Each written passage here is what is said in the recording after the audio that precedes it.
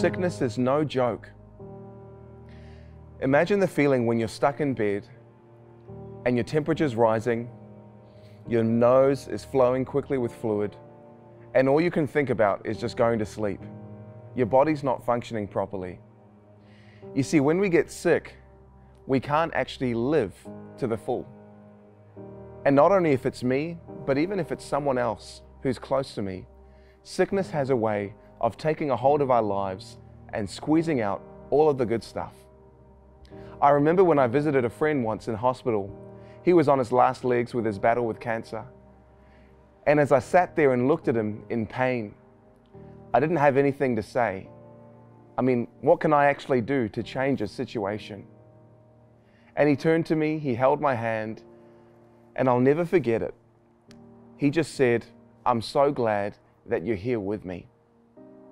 You see, dealing with sickness, it's not just about having the pain removed, it's not just about recovering straight away. It's also about appreciating how we're in this together. COVID 19 has put us on a pandemic scale all across the world. Hundreds of thousands of positive cases have taken place, and even here in New Zealand, this is becoming something that's out of our hands. So I suppose the question remains how do we deal with this? Are we going to catch the coronavirus as well? And what about those who are more vulnerable in our communities? This is a serious thing. And in addition to catching COVID 19 as a possibility, I want to point you to a different type of catch we can have. That even in the face of sickness, we can be catching hope. This means that when it comes to dealing with being stuck in our beds or feeling rotten, there's a deeper experience that God wants for you and for me. You see, He not just wants to heal us on the outside, He wants to heal our hearts. Today, we're going to come to a place in the Bible where Jesus meets three unnamed people. He heals them in amazing ways. But the beautiful thing is, He does it specifically so that they're healed on the inside too. Let's open God's Word and see how He wants to take us through this journey of sickness and still be catching hope. The first person we meet is someone who was stuck in social isolation. We can identify with him a lot because this is the kind of situation we're in right now. We can't go anywhere, we have to stay indoors, and even if we're sick, we have to live with it. So open your Bibles with me to Mark chapter 5. This is a guy who was so sick that no one wanted to be around him. Then they came to the other side of the sea, to the country of the Gadarenes. And when he had come out of the boat, immediately there met him out of the tombs a man with an unclean spirit. Now, when the Bible describes the scene, we see Jesus, that's he who came out of the boat, they came to a new place, and as soon as he steps out, they're met by someone who no one usually wants to talk to. The Bible describes him as someone who's got an unclean spirit. Now, we would usually say someone who's really pretty anxious, maybe someone who's mentally unwell. But the Bible says that he was unclean, as in no one goes to where he is. He's stuck on his own, he's got to deal with it himself. But Jesus recognizes that when people are sick, we need to stick together. So, verse 3 Who had his dwelling among the tombs, and no one could bind him, not even the chains. So, this person's not only unwell internally, but he's also dangerous. He can't be bound up with chains. He's in a situation where he can't even control his own behavior. And so, usually, we'd say, well, that person's got to go to where they belong. But in the case of Jesus, he wants to step into his life and bring him to a new place.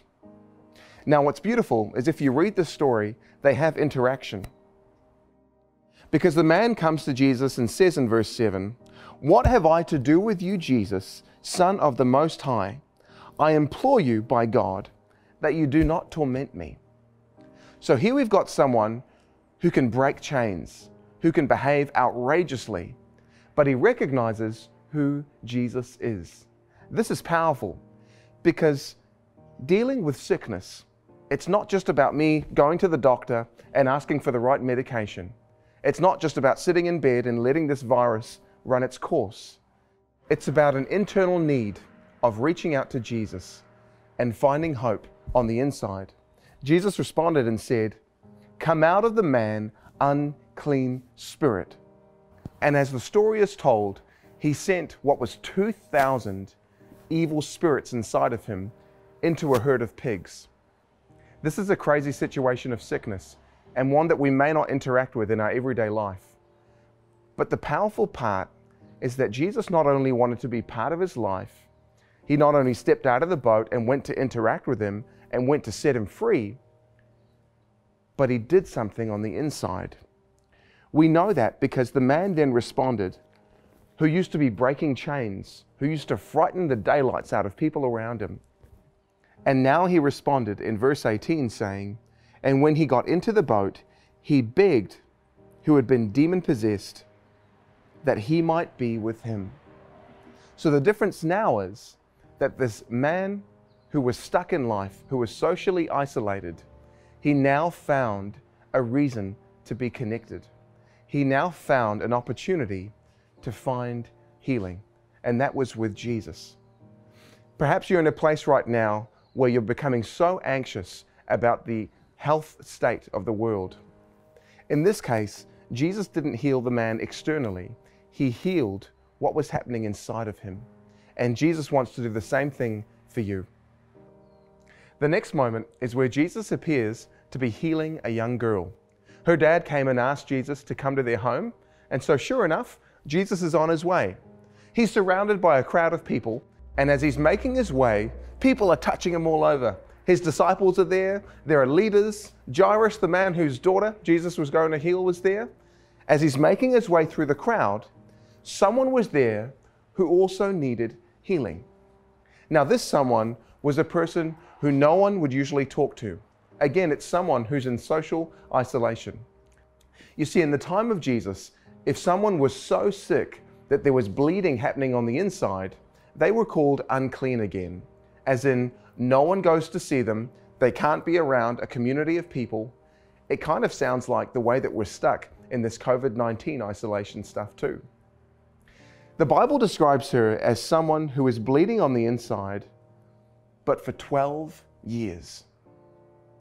Imagine your life becomes so stuck that you can't be around people. You're in pain. There's something happening inside of you that you have no control over. And it's not just for a month, it's not just for a little while up to a year, it's 12 years. Now, she's so brave that as the crowd of people are around Jesus, let's check out what the Bible describes she does. Read with me in verse 25. Now, a certain woman had a flow of blood for 12 years. We just heard that. And had suffered many things from physicians. She had spent all that she had and was no better, but rather grew worse. Notice here that for this lady, after she had been suffering for this amount of time, she had gone to every avenue. She had exhausted all of her resources to try and find hope. But maybe she was looking in the wrong place. Maybe she can't find hope just from having the right medicine, or find hope from reading the right books, or scrolling through the right social media uh, videos. Maybe hope could only be found in this man who had just arrived in town. Verse 27 says, When she heard about Jesus, she came behind him in the crowd and touched his garment. I want you to imagine this that you've got so many respectable people around Jesus, and he himself is walking through, and here's this lady that as she's trying not to be seen, she's hovering through, and just as she's crouching down, she can barely reach the bottom of his leg. And she doesn't even touch him. She can't reach his shoulder, she can't even reach his foot. Instead, she just reaches the edge of his garment. This is really peculiar because for us, if we're wanting to hug someone, we want a hug. If we're wanting a handshake, we're not going to put our foot up. But she realized all she needed to do was to reach out to part of Jesus, to find a part of him where she can find hope again. And as she touched his garment, read what happens. And immediately the fountain of her blood was dried up, and she felt in her body that she was healed of the affliction. This is amazing. The story of Jesus here is that when a woman simply reaches out and believes that all she needs to do is touch even just the hem of Jesus' clothes, that she's healed. And the Bible describes that immediately when that happened, she felt the sickness went away. She felt the blood was dried up and she was healed. A miracle took place here. Because in the case of Jesus, he didn't respond by saying, Well, I'm just going to carry on with my day. No, no, no. Check out his response too. And Jesus, immediately knowing in himself that power had gone out of him, turned around and said, Who touched me? But his disciples said to him, you see the multitude thronging you, and you say, Who touched me? Interesting that the only person who knew what happened, other than the woman, was Jesus. Take note here that when it comes to a sickness that we can't deal with, it's not really something that we can find a quick answer from someone else. There are great support systems, great medical care services available, but at the end of the day, you need to reach out to Jesus yourself. Someone else can't do that for you. And I love Jesus' response Who touched me? And his disciples, looking at the common situation, say, Well, Jesus, there are lots of people around you. We're all touching you, I suppose. Everyone's getting a hug. But he's like, No, no. Someone just touched me because I felt like power came out of me. This is amazing. Because in the case of Jesus, when we do reach out and when we touch him, there's an exchange that takes place. We not just receive love, we receive the ability to deal with our sickness. Now, I'm not saying that if you reach out, if you lift your heart and pray today, that God is immediately going to heal you. Because in this case, the woman had been battling for 12 years, and God could have healed her at the start of that journey too. But what he does promise is that when we start to reach out to Jesus personally, that power will be unleashed over our life. That is power to deal with it. That is power to be able to grow even in the midst of something that we have no control over. How about you? Do you want some of that power?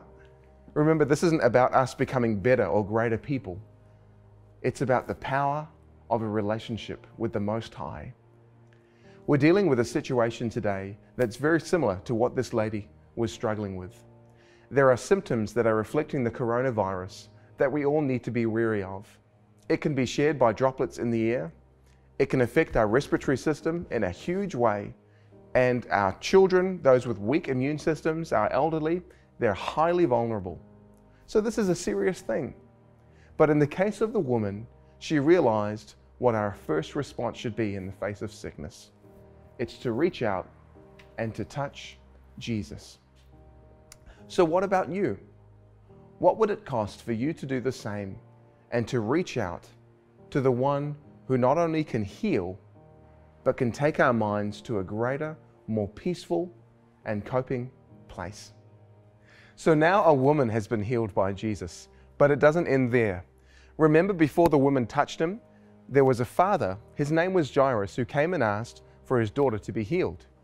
Now, the cool thing is, Jesus doesn't forget about people. Sure enough, he deals with a situation right there and then, and that's a great lesson for us to learn in itself. But now he wants to continue on and go to meet Jairus' daughter. Now, at this point, after the woman who had been bleeding for 12 years was healed, Jairus came back and he'd just gotten word from one of his servants his daughter had died. And this part really hits home because all across the world right now, the virus isn't just infecting people, it's killing people. And even in the face of death, Jairus responded in kind of a, a usual way. It says in verse 35, still in Mark 5, while he was still speaking, Some came from the ruler of the synagogue's house who said, Your daughter is dead.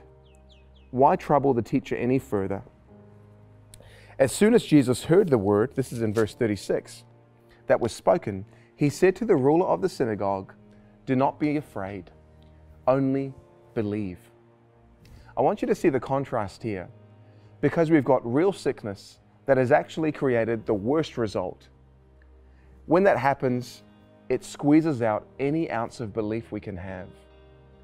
But Jesus says, Do not be afraid, only believe as you're battling with sickness, as you're battling with watching others uh, be either afraid or have already caught part of this pandemic, Jesus says the same thing only believe. You see, we serve a God who knows the end from the beginning. And while He's an amazing Savior, a friend, the one who made everything, He's also our healer. And I want you to notice who he really heals in this story. He comes back to Jairus' house, even when Jairus said, Don't worry about it. And people are crying there. It says in verse 38 Then he came to the house of the ruler of the synagogue and saw a tumult, as in a crowd, and those who wept and wailed loudly. You can picture the scene. People are screaming, people are crying excessively. And so Jesus asked the question. When he came in, he said to them, Why make this commotion and weep? The child is not dead, but sleeping. This is remarkable because Jesus looks at a situation that looks like it's totally fallen apart. And when he sees that a house is filled with disbelief, they're crying because this young girl has died. He says, Ah, ah, ah. She hasn't actually died she's asleep. This actually tells us what death really is. We a similar story with Lazarus in John chapter 11. But sleep means it's temporary. Sleep implies that someone's going to wake up. Sleep means that Jesus is about to step in and call her. You know, in Psalm 30, it says something similar. It says, Weeping may tarry through the night, but joy comes in the morning. So we may go through something hard, but wait because when the sun rises, there's going to be a joyous way that we've grown and that God has stepped in and healed us, or in this case, has woken us up. So Jesus went into her room, and in verse 41, it says, He took the child by the hand and said to her, Talitha Kumi, which is translated, Little girl, I say to you, arise. Verse 42 Immediately the girl arose and walked, for she was 12 years of age, and they were overcome with great amazement. Notice the words Jesus gave. He didn't say, Hey, are you still there? Filled with hope, he says and speaks life to the young girl Arise. Now, I imagine as soon as she woke up, and it says the verse after, that he commanded for her to have something to eat. Because when you eat, you know that someone's really alive, her body's working. So it wasn't just some random occasion, it wasn't something they were imagining. And in the case of this girl, she was now in a place where her family believed too. I imagine the crying would have stopped, the wailing would have been silenced, and a family, that is the family of Jairus and all those who were in his house, were now in a place where they were healed as well. The powerful part of this story is not simply about a girl who was restored and brought back to life, which is incredible, but it's that her family were brought back to life as well. Perhaps you're in a place where your loved ones are being strangled with doubt at the moment, with fear, or the sickness has become a real thing. Jesus wants to step into your home or into the relationships you have with your close friends. And He wants to do the same to silence the weeping, to bring the doubts to a halt, and to put us in a place where He can say to us too, Arise. Just like how Jesus ministered to the girl's family who He rose from the dead. he transformed the life of the man who had an unclean spirit. And he brought such a remarkable faith difference to the lady who had been bleeding for 12 years. Jesus longs to bring the same impact to your life as well. There goes the story of a beautiful poet named John Donne in the early 17th century. And during the time of the Black Plague, life became so still for him. He started to actually resemble similar symptoms to what the Black Plague had instructed. So he made his way to the local hospital where people were getting ready to die. He admitted himself, and as he sat there in the hospital bed, he heard the sound that broke his heart. A bell was rung every time someone died throughout that hospital complex. Ring! Someone had just died. Ring! Someone had just died again. It was the most painful noise, and it brought him to a place that wrote some profound words. This is what he said No man is an island apart from himself. We are all part of the same continent. And he goes on to say, Never ask for who the bell tolls, because it tolls for thee. So we should never be asking, oh, what's the latest stats of those people over there? Because what's really true is that when someone else is affected, so am I. The bell tolls for you and me as well. This is real. People are sick, the stats are increasing, and there's no way for us to control it. But there's a beautiful response we can have from God's Word. Jeremiah 17 and verse 14 Heal me, O Lord, and I shall be healed. Save me, and I shall be saved. For you are my praise. Now, what Jeremiah does here is he takes the need of being healed, of God saving us, and he places it in his hands. Sure enough, God longs for us to be in good health, and there's nothing more that he wants for us than to be in a saving and a healed relationship with Him. But He's so much wiser than the circumstances and the time frames that are in front of us. So He says, God, you heal me, and I will be healed. So we can say together today, too, Lord, we know that you can heal us. We know that you can sort this out. And I'm going to leave it, I'm going to trust it in your hands. The amazing thing is, we don't serve a God who is just distant, watching. Remember, Jesus came to this world, and when he did, his life was broken too. He went to the cross, and none of this was deserving. But he gave up his life as the most amazing sign. What an amazing Savior! You see, the God who made everything, he also wants to walk through this life of bringing a remarkable healing change too. So, are you willing to take the pain, to take the sickness and the circumstance we're in, and to trust it to our healer? Let's pray. To our Lord who's in charge and who is so near, we join with the words of Jeremiah and say, Heal us, and we shall be healed. Save us, and we shall be saved. To all those who are stuck, who are feeling isolated, or who are under the pressures of sickness, we pray that you'll carry us and that you'll bring us through. In the precious name of Jesus, we pray. Amen.